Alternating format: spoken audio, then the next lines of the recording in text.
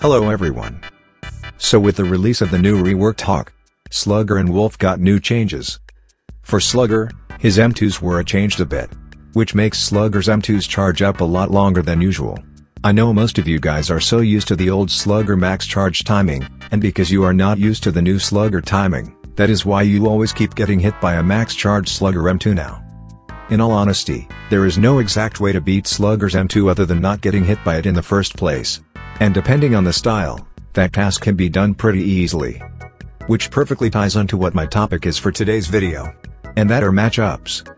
I keep seeing people talking about how bad or how good a style is, just because they lost to it using a style that is pretty bad against that style to begin with. So in today's video I will be showing you guys every bad single bad matchup there is for every style in the game. Alright, let's start with the styles who rely on M1 damage. There are a lot of different types of styles that fall on this category, so let's talk about the styles that are pretty similar. The styles that fall on this category are these styles shown on the screen. For these styles, your only bad matchup are styles that can easily tank your hits and outspeed your M1s, styles that can easily heal all of that damage, or prevent you from landing M1s are your worst matchups. Corkscrew is a bad matchup against these styles due to its insane healing. And styles with fast M1s like Hands Low, Hitman, and freedom can easily negate your attempts to be aggressive. Which makes snowballing or stacking up damage pretty hard to do. Now for bad matchups that are unique for the specific type of styles. Let's start with the obvious ones. Hands low, shotgun and hawk. Since all three of these styles take extra counter damage. Counter, hands low, bullet, and hawk or any other counter styles are their worst matchups. Next up are counter type styles, Styles that fall on this categories are the ones on screen. The worst matchup for these type of style is Corkscrew, Turtle and Iron Fist. Why exactly is this? Well it's pretty simple. Corkscrew can just outright heal the big chunks of health you can take with your M1 counters in seconds. And as for Turtle, counter-type styles are known to have bad base damage. So it's hard for them to break or apply any kind of pressure against styles with a good block. And because they can't apply any kind of pressure, they won't be able to land any counters. And Turtle is known to have the best block in the game, while also being the only style that's best used when you are passive. Making it single-handedly every counter user's worst matchup. Turtle is also a pretty bad matchup if you are using long guard. And as for Iron Fist being a bad opponent for counter-type styles, Iron barely takes any type of counter damage due to its passive. Just look at how much a bullet counter hit M2 does to Iron Fist.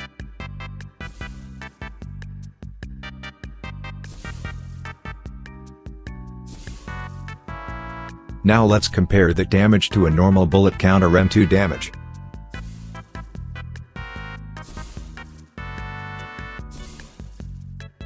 Next up are styles with a weak block. The styles that fit this category are the ones on screen right now. It's pretty easy to narrow down who their worst matchup is gonna be, because it's pretty obvious. Styles that can easily break their block bar are their weakness, so styles like Ippo, Charge, Iron Fist and Corkscrew are their weakness. But for me, if I was using a style with a bad block, I would be afraid of Ippo because of his insane M1 damage.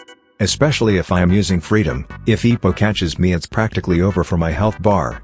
Let's move on to bad matchups that are specific for one style only.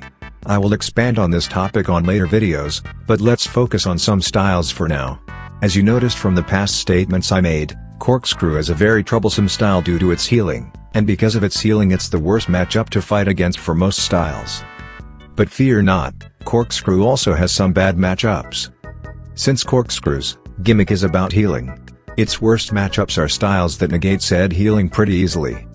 So styles like Hawk, Slugger and Wolf are bad matchups against Corkscrew due to them having an easy access of true damage. For Slugger and Hawk, both of these styles have a unique gimmick about them. And it's that both Slugger and Hawk's M1s have anti-healing.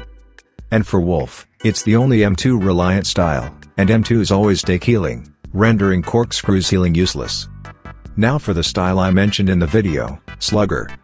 Slugger's worst matchup is against styles that can easily get out of pressure while also being faster than Slugger himself. So styles who have good dashes, while also being able to attack Slugger safely. Styles with good dashes can pretty much avoid Slugger's M2s with ease because they could just backdash away if they feel like they did the dodge wrong. And because Slugger has a pretty bad block it's also pretty vulnerable to attacks. So I would say Slugger's worst matchup is Ippo. Because it has the good dashes to avoid getting hit by his M2s, a decent block to avoid his M1 damage stacking up. While also having speed that is slightly faster than Slugger. So he can usually outspeed him. And yeah, there is probably some more bad matchups for some styles. But I am gonna stop at this for now, there will be a part 2 for this series so keep an eye out for that. If you have information about any other bad matchups, feel free to comment them down below. I'll gladly cover it for the next video. Anyways, that's all from me. See you guys on the next one, peace.